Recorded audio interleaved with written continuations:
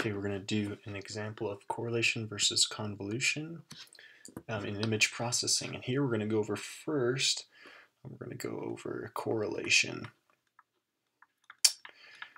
This is basically where we have an image, just like here, and these are going to be our sample intensities 1 through 9, and a kernel. And basically we're taking this kernel, we're multiplying the values, value by value, and summing them to get our output.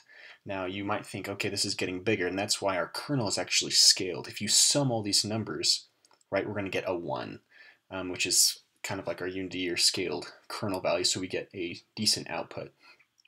Um, and in this case, this is all symmetric, right?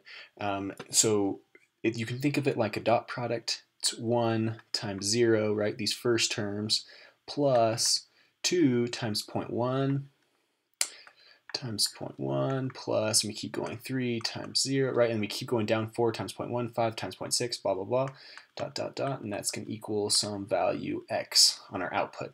And that x is actually going to go right, boom, smack dab here in the middle. And for an entire image, right, this is going to keep going. This is just one little box because our kernel is only a 3 by 3 Our image is actually much bigger.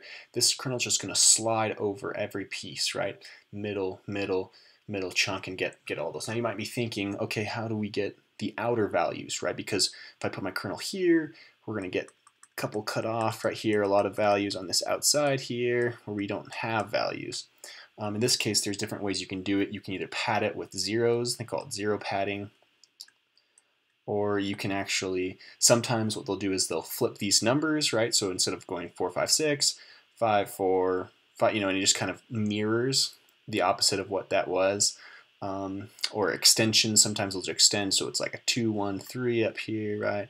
And a 3, a 6, and a 9, so kind of the same thing. Anyway, there's different methods that you can use to do that. Now let's talk about convolution, which is almost um, the same thing.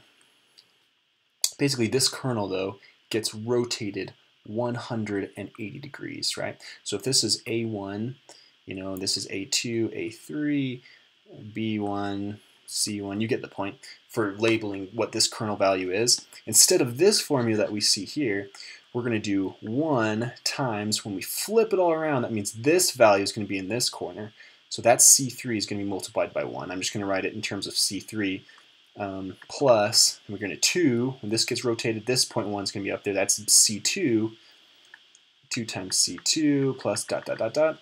And that gives us our, you know, our x of our convolution value, and that's going to be our middle here now. So there you have it. Um, that's our graphical representation. What does this actually mean in the math?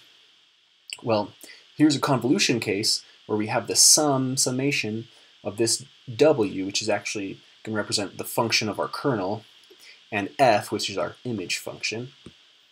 Um, those are multiplied together after we sum values from a minus a to a and minus b to b. In our case, we have a and b are these values here. So we start in this middle case, right? Minus a, if we're saying our a is value is 1, don't get it confused with these a's that I wrote here.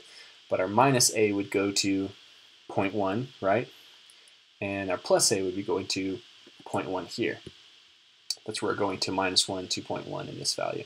And here, the basically the only difference between the convolution and the correlation is that this minus sign is a plus, right? And basically that just means if I'm going from the minus a to the plus a, then I start on this side and go backwards um, for one way and then the opposite for the other, hence essentially the 180 degree rotation that we're talking about here. Um, so you can see how this is summed for all of these values. And like I said, usually the, the W is scaled a lot of the time.